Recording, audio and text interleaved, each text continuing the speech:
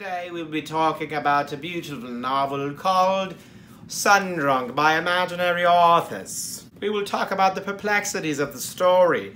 I will let you know all of the great gory details and you will enjoy it profusely. For if you don't, I don't care. Stay tuned.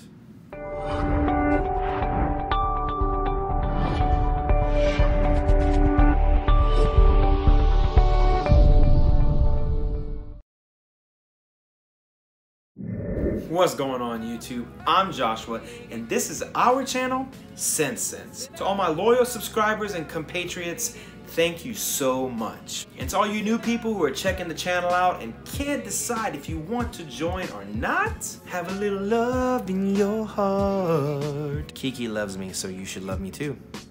The fragrance we're going to talk about is very near and dear to me, mainly because it's not every day that people reach out to me and do very, very nice things. And this guy took the cake. Josh Meyers over at Imaginary Authors got wind that it was my birthday back in the middle of July. That was the 15th. And also, we were on the eve of my son's birth, and he wanted to just make it extra special for me. So out to the mailbox I went, and I got this bad boy right here, Sundrunk by Imaginary Authors.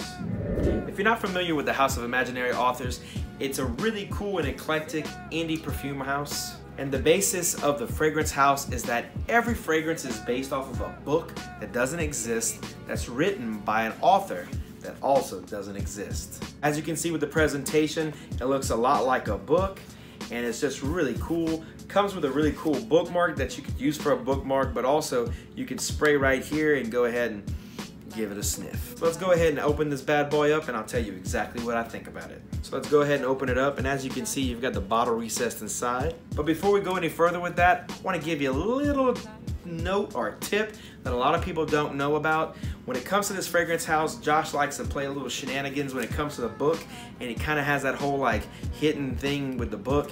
If you open it up and you notice right here it says, be vigilantly curious because treasures are all around us It's got an arrow pointing down and if you were just like looking at it you'd be kind of confused. Well if you reach right here and you open this up there's usually a sample wedged and hidden in here. I took mine out already. It was Cobra and Canary which is kind of different and unique and not really my cup of tea but kind of cool anyway. So as we call it in Cajun country you get a little lanyapsha.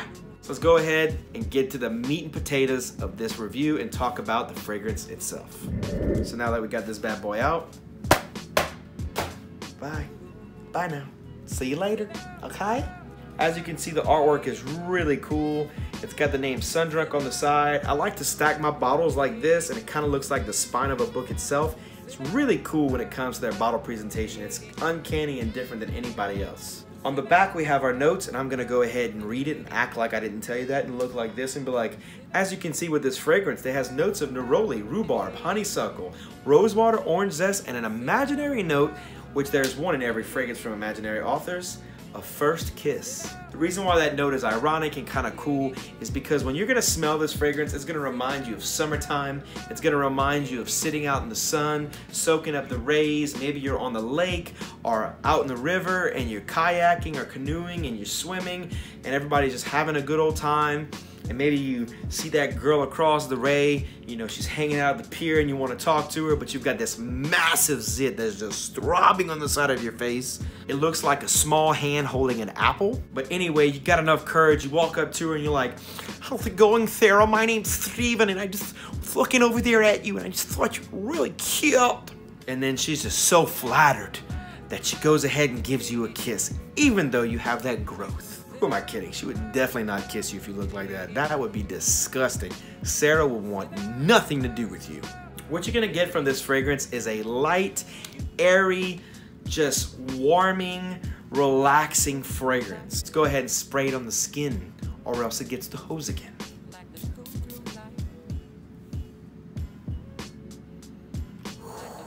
It's so good, man. That orange zest and that rhubarb marry perfectly, and that rose water gives it a nice balance. Now, my wife thinks that it kind of smells like musty, rotten fruit, but I don't agree with her. I think it's the rose water that kind of gives her that vibe. I personally don't care for rose water by itself.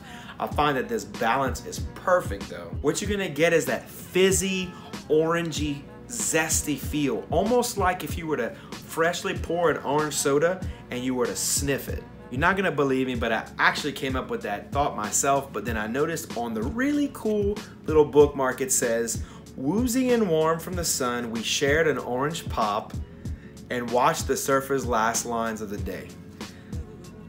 I didn't even have to say it, he said it, and that's exactly what you're gonna get from this. The only knock on this fragrance is that it tends to sit pretty close to the skin for the majority of the life of the fragrance.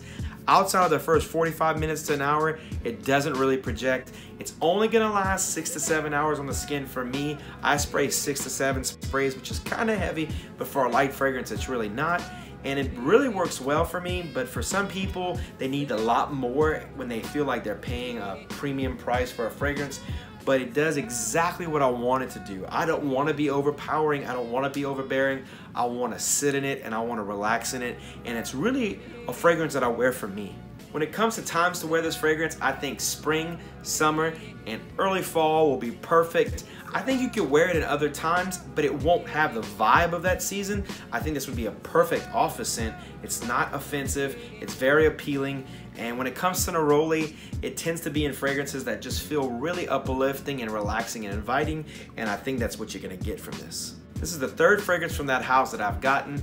It falls directly in second place because it's Leapfrog Memoirs of a Trespasser, but it's definitely gonna sit behind Cape Heartache, which is a fragrance I've also reviewed, and if you wanna see that video, I'll go ahead and leave it up here. But this one right here deserves its own spotlight, and Josh, I just wanna tell you from the bottom of my heart, man, it meant a whole lot to me for a lot more reasons than you could ever care to know because, uh, yeah, it, it meant a lot. Alright guys, that about does it for me. If you smelled this fragrance, let me know what you think about it. And if you haven't, let me know about an imaginary author's fragrance that you liked and what did you like about it. While you're at it, go ahead and share this video. That way more people can learn about this channel and enjoy it with us. If you like the video guys, go ahead and like the video. And if you don't like the video, just click the like button anyway. Appreciate it. If you haven't already, go ahead and subscribe to the channel. That way when my videos come out, they'll fall directly in your feed. And if you want to take it a step further and you want to be more dedicated to the family, then smash that notification bell. That way when my videos come out, you, my friend, will be the first to know. All right, fellows and ladies, you know what it is. I will sniff you later. Mm, peace.